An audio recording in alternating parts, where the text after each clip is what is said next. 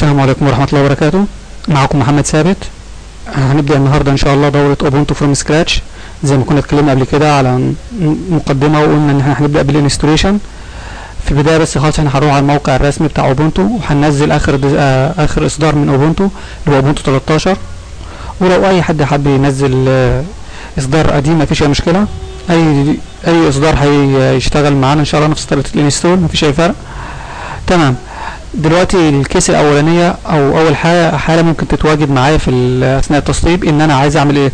إن أنا شغال بالفعل بنظام تشغيل Windows ايا كان بقى Windows XP 7 8 أي حاجة من دول مش تفرق. وعايز أعمل install لل- للنسخه أو ال distribution بمعنى أصح. كل ده أنا هعمله دلوقتي إن أنا بعد ما نزلت النسخة بعد ما نزلتها من على الموقع الرئيسي هحرقها على DVD أو على على USB وأعمل boot منها. وبعد كده هنكمل عادي جدا. هنبتدي دي الخطوات اللي بنعملها عادي جدا عشان اعمل install لاي operating system هنا في الحالة اللي أنا شغال بيها دلوقتي طبعا أنا شغال بيه أساسا operating system Linux شغال بيه Ubuntu 12 10 فأنا منزل برنامج اللي هو ال VM ال VMware Workstation أو ممكن تنزله VirtualBox ويفضل VirtualBox يعني بس عشان أنا مش عندي البرنامج دلوقتي مش عندي نت إن أنا أنزله. آه، تمام؟ فبعد ما ننزل البرنامج هو عبارة عن إيه؟ البرنامج ده هي خاص إن هو يعمل محاكاة لل operating system يعمل لك operating system حقيقي تقدر تجربه. مفيش أي فرق بينه وبين النظام المتسطب على الجهاز. تمام؟ دي كانت حاجة كنت حابب أوضحها بس. أنتوا بالنسبة لكم هتشتغلوا عادي جدا مش مش هتبقى مطلوب منكم الخطوة دي. أو اللي حب ان هو يجرب على Windows على VMware بصفة عامة ويجرب التوزيعه ويشوف إذا كان هينفع يشتغل عليها ولا لأ. زي ما تحبوا. لكن أنا هفترض الحالة الأولانية إن ناس مسطبه Windows 7 وحابة إن أنا وحابة تشتغل على تشغل Ubuntu قصادها. تمام. في البداية بس ح... زي ما قلنا هنحرق الاست... نحرق ال DVD نحرق على دي في دي أو يو اس بي عندي بالنسبة للوضع اللي أنا فيه دلوقتي هختار ال- السي دي عشان أعمل منها boot تمام؟ أختار أروح المكان اللي متسيفة فيه. واختار Ubuntu 13 أنا منزل 64 كل واحد على حسب بقى ال- اللي حي... اللي بيشتغل بيه 64 أو 32 تمام؟ الخطوة دي بالظبط كده تعادل ان أنا عملت آه، جبت ال DVD ووصلته بالجهاز الرئيسي أو إن أنا حطيت USB. لو نلاحظ هنا بيقول ان هي دي دي الاسطوانة. في اسطوانة آه، Ubuntu 13 تمام؟ أنا هيتطلب مني عشان الطريقة دي إن أنا أفضي partition لل operating system تمام؟ مجرد ما انزل ما ادخل ال DVD هلاقيها بالفعل ظهرت عندي هنا. تمام؟ أنا هطلب مني ان أنا افضي partition. دلوقتي ده ال partition ال C ده اللي فيه ال operating system وعندي partition D أنا كنت مفضيته قبل كده وفي partition E في data عندي ما data عادي ما مش مش هنيجي يمها عشان الناس بتقول إن part إن Linux بيعمل delete لل أو بيعمل format لل par لل partitions كلها وبيفرمت ال hard disk لا إحنا هنشوف الخطوة المسؤولة عن كده ونشوف إزاي الناس بتقع فيها. تمام؟ في البداية دلوقتي أنا حددت إن ال partition D هو اللي هستخدمه لإن انزل عليه ال- التوزيع. هو ال- ال size بتاعه 15 جيجا. آه 15 ونص كده ولا حاجة. تمام؟ كل اللي أنا هعمله دلوقتي إن أنا هبتدي أعمل reboot للجهاز. تمام؟ أعمل restart ومجرد ما أعمل restart هدوس آه، هدوس إن أنا أعمل boot من ال من ال DVD ايا كان بقى F 10 F 9 ال function المسؤول عنك آه، عندك إنك تجيب ال- ال boot من ال من ال USB أو ال DVD هات ال boot منها وابتدي اعمل boot من ال DVD أو ال USB مودم ال USB اللي انت شغال بيه. تمام؟ لحظة بس الجهاز يعمل shut down رغم إنه ما كانش عليه application كتيرة شغالة إن هو بياخد وقت في ال shut down مش مشكلة. من العيوب المعروفة طبعا يعني مش محتاج إن أنا أتكلم عن المشكلة دي. المهم بقى بمجرد ما يخلص. ده لو ربنا سهل وخلص يعني منتظر اهو. كده الفيديو حجمه بي- بيكبر على الفاضي يعني. ما علينا المهم مجرد ما يجي أنا أدوس ال أدوس escape عشان أعمل boot من ال من السي دي تمام أقول له اختار أنا أعمل boot من السي دي هيبتدي كده ي boot من ال من الأسطوانة اللي هي محروق عليها مسبقا آه، توزيعة Ubuntu. تمام؟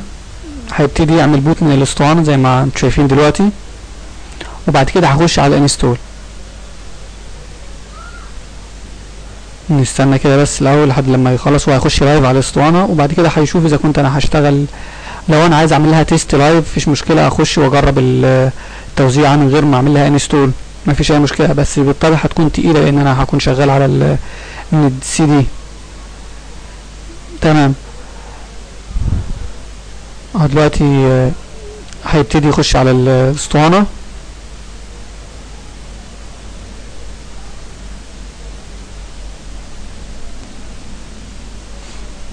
تمام؟ اهو بيقول لي هنا هل ان أنا عايز أعمل install لل للاوبونتو مباشرة؟ ولا أنا عايز أعمل لها try لو أنا دوست try هيقول لي إن هيخش على النسخة live وبشوف اللي أنا عايز أعمله عايز أجربها عايز أشوف البرامج اللي فيها أي حاجة أنا عايز أعملها فيها هتبقى متاحة بالنسبة لي. أو معظم ال function متاحة بالنسبة لي. تمام؟ أنا في غنى عن كده. أنا هعمل install مباشرة. هخش نعمل له install طبعا اللغة هختارها English. لو عايز عربي مفيش مشكلة. بيقول لك أنت requirement اللي عندك عشان تعمل install لل distribution إنك تكون متصل بالإنترنت وإنك تكون عندك مساحة at least خمسة وأربعة من عشرة جيجا free في ال hard disk تمام؟ هو الجهاز متصل بالإنترنت بس طبعا مش شايفه أنا مش موصله بالإنترنت لسبب واحد عشان هيعمل updates وهيطول. تمام؟ أقول له continue هيبتدي بعد كده الخطوة اللي هي بيقع فيها الناس كلها وبي... وبيقول إن لينكس بيص- بيفرمت ال hard disk هي عبارة عن إن الناس من قبل ال edition ده أو قبل التوزيع دي على ما أذكر كان أول خيار اللي هو replace على ما أذكر كده. آه وات مش مشكلة. الفكرة جايب لي هنا أكتر من ثلاثة option بيقول إن أنا عايز أعمل install لأوبونتو inside ويندوز ده عن طريق إن أنا هيخش على ال partition اللي هو فيه ويندوز وهيعمل له install عليه. ما أنا ما بحبش الطريقة دي أو مش كويسة عادي يعني ممكن تجربوها بس أنا بفضل إن هو يكون على partition لوحده. بحيث إن لو ما يبقاش معتمد على ويندوز في حالة إن ويندوز وقع وده العادي طبعا. فما أخسرش التوزيع. بحيث إن كل واحد على partition لوحدها. تمام؟ أنا ه... ولا أنت عايز تعمل replace لويندوز 7 بأوبونتو؟ ولا في الحالة دي warning إيه اللي هيحصل؟ أنت كده هتمسح ويندوز وهتمسح كل ال... كل حاجة موجودة وهتفرمت الجهاز. ولا أنت عايز تعمل حاجة تانية؟ أنا هختار لا أنا هعمل do something else وأقول له continue هيبتدي هنا يجيب لي ال partitions اللي موجودة عندي في ال hard وعن طريق ال partitions دي أختار ال partition اللي أنا عايز اعمل له install عليه. هنا بيقول لك إن أول واحد اللي ده الويندوز لودر اللي هو ال 100 ميجا بيكون في الأول. بعد كده عندنا ال partition الثاني اللي هو 23 جيجا اللي هو ده متسطب عليه إيه؟ ويندوز 7 وبعد كده عندنا اللي هو 15 جيجا ونص اللي هو 16 ده. وبعد كده ال partition الأخير اللي هو 25 جيجا اللي هو كان ال E على ما اذكر تمام؟ في حاجة بس هنا ال partitions ال hard disk متقسم sda بيرمز ليه برمز sd sd في حاله كان ال hard الأولاني أول hard فهيبقى إيه؟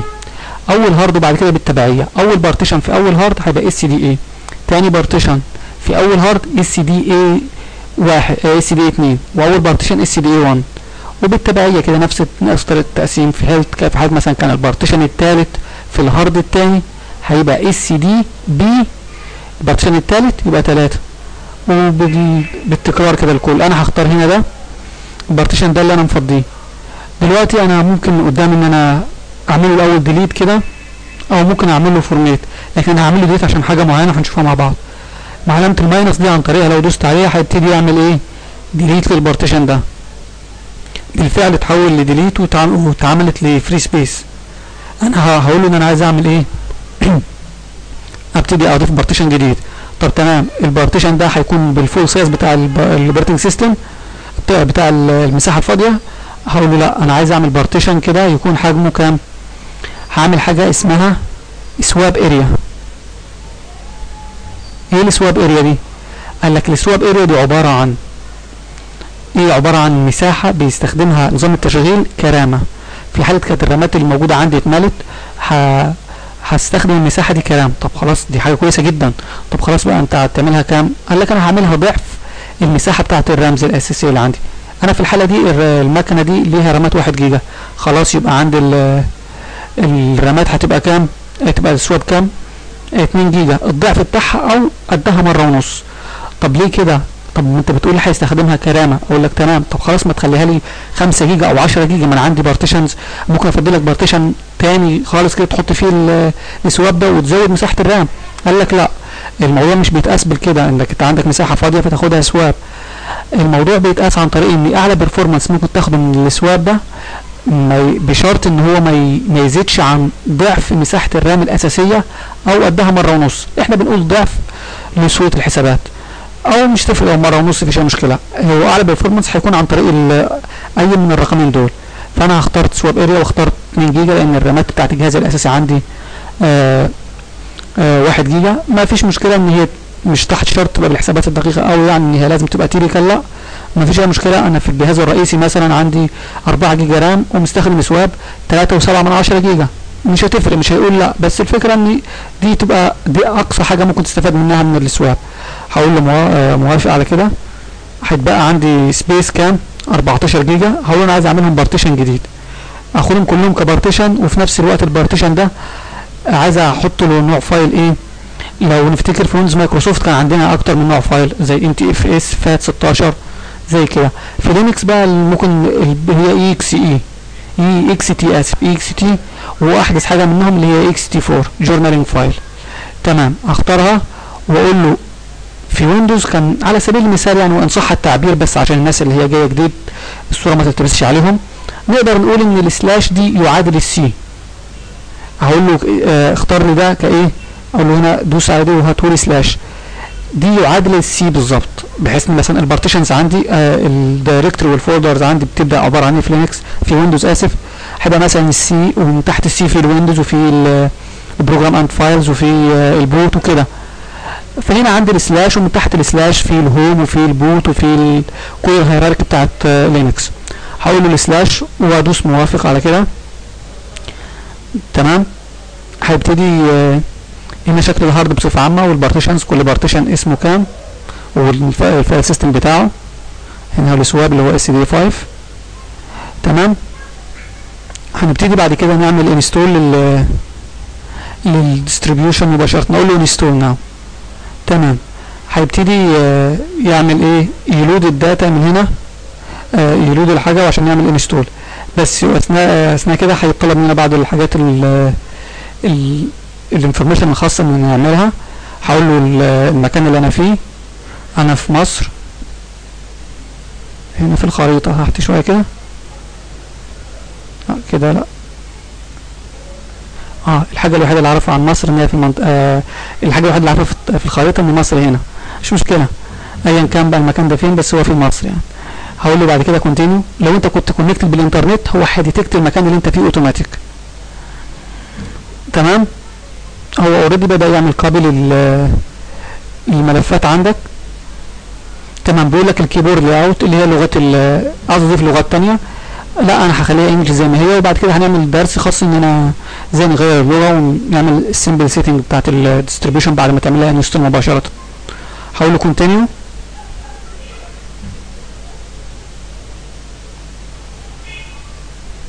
لو تلاحظوا هو هنا بيعمل copy لل file ده اختصارا للوقت عشان أنا بمجرد ما أخلص ال information دي هو في الأول كده بعد ما قسمت خد مني الحاجات الأساسية بتاعه النظام وبدأ يشتغل عليها علشان يبتدي يسطب النسخة. لكن ال information اللي أنا بدخلها دي حاجات optional فمش مبنية فمش محتاج إن هو يوقف ال setup كله لحد لما يطلب مني الحاجات دي لأ هو أنت اشتغل والحاجات دي هحتاجها بعد ما ال- الس- ال system يتعمل له install أو في آخر خطوة من ال install. هقول له مثلا على سبيل المثال آه، آه، ال username هخليه مثلا IEEE الازهر تمام؟ والجهاز أسميه IEEE. تمام؟ آه وبعد كده ال password. password بسيطة جدا IEEE. تمام وقال لك short password. بعد كده بيقول لك هل انت عايز يعمل login automatic بمجرد ما كل مرة تيجي تخش يعمل اوتوماتيك ما يطلبش منك ال password؟ ولا عايزه يعمل require لل password كل مرة تيجي تعمل login؟ على حسب استخدامك انت بس يفضل طبعا إن هي تبقى require my password تمام؟ بعد كده دوس continue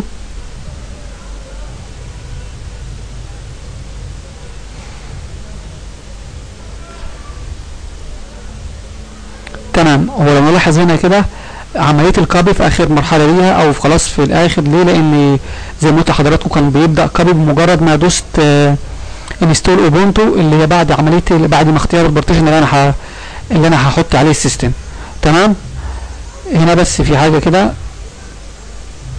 لحد لما يخلص أنا هوقف الفيديو بس لحد لما يخلص عشان الفيديو ما يبقاش حجمه طويل بس. تمام؟ وبعد كده نكمل تاني. خلاص هو ما خدش وقت قرب يخلص ال install تمام؟ دلوقتي بيعمل configure لل hardware اللي موجودة عندي. بمجرد ما يخلص هيعمل install لحاجة اسمها ال GRUB ال GRUB ده عبارة عن إيه؟ عبارة عن ال boot loader بتاع ويندوز آه بتاع لينكس آسف اللي عن طريقه هيخليني أقدر ا switch في ما بين الجهاز ما بين توزيعة Ubuntu أو هو ده. GRUB install ما عن ما بين توزيعة Ubuntu ما بين نسخة ويندوز 7 في حالة ويندوز ويندوز ما بيعرفش يقرأ أو ال boot loader بتاعه ما بيعرفش يقرأ أي أي نسخة من لينكس لكن هنا في لينكس ده مختلف يقدر يقرأ أي operating system تاني موجود مع نفس ال hard تمام؟ وهنشوف إن إحنا لو عملنا install بعد كده مرة تانية ل C مثلا إن نسخة ويندوز وقعت وده الطبيعي وده العادي يعني. آه في أي وقت ممكن تقع.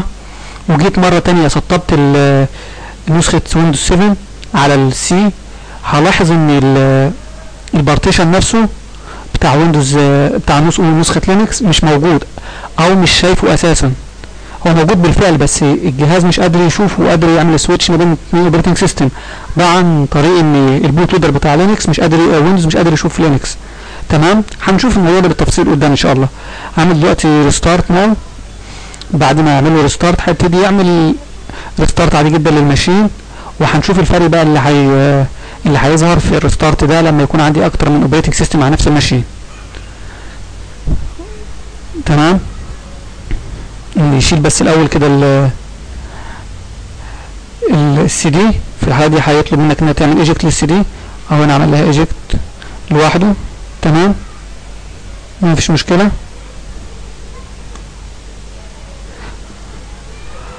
اهو دلوقتي بدأ فبيجيب لي بيقول لي أنت عندك أكتر من اختيار.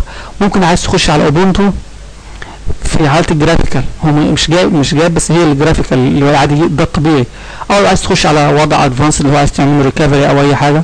أو عايز تعمل test لل memory أو عايز تخش serial console اي من اختيار. وبعد كده عندنا Windows 7 بيقول لك إن في partition آه ال partition اللي هو sda واحد اللي هو أول partition في ال hard اللي هو بالطبيعي C ده عليه Windows 7 تمام؟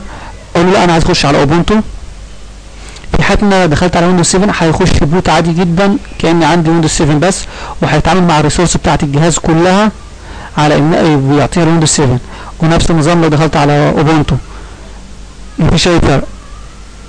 هيبتدي دلوقتي يخش على Ubuntu خلاص هو بالفعل دخل أهو خلاص. هدخل ال password اللي أنا حطيتها للمستخدم. تمام؟ هو زي ما تلاحظوا ما خدش وقت أساسا عشان يعمل reboot أو عشان هو يخش على ال distribution تمام. مشكلة الشاشة دي مشكلة عندنا في البرنامج. في tool هسطبها لل VM عشان